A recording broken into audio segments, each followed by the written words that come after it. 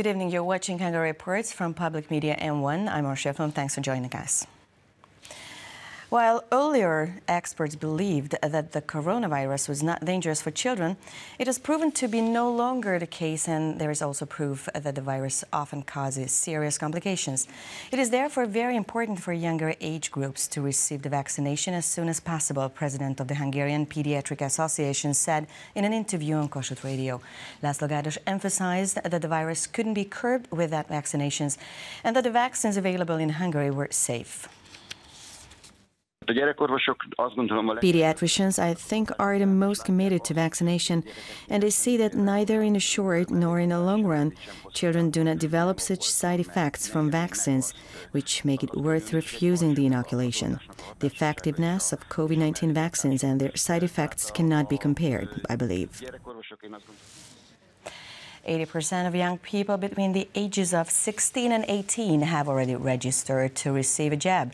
Chief Medical Officer Cecilia Müller announced, adding that they had decided to make it possible for the approximately 6,000 young people to schedule an appointment to get vaccinated, even though they had registered last Saturday and Sunday just after the Friday deadline. One of the world's largest plants manufacturing concrete roofing tiles will be built in Hajdúszoboszló. Minister of Foreign Affairs and Trade announced. Péter Szijjártó noted that the capacity of the factory would reach about 220,000 tons per year, adding that the tiles would be manufactured exclusively from organic materials. Therefore, the products would be 100% recyclable. Austrian construction material manufacturer Leier is investing more than 18 million euros in its developments in Hajdúszoboszló Szoboszló, Pécs and Jánosháza, the minister emphasized. The European Union has no other choice, but it should speed up its integration process with Montenegro by setting clear criteria and deadlines and holding effective negotiations, President of Hungary said after talks with Montenegrin President in Budapest on Tuesday.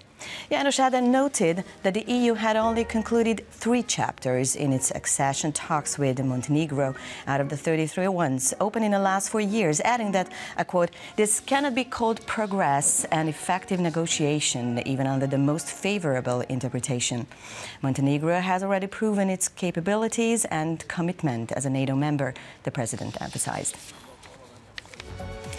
And that's all for now, but we'll be back tomorrow night at around the same time, and you can catch Hungary Reports online as well. Please stay tuned for our other news in German, Russian, and Chinese. Thanks for watching. Take care. Good night.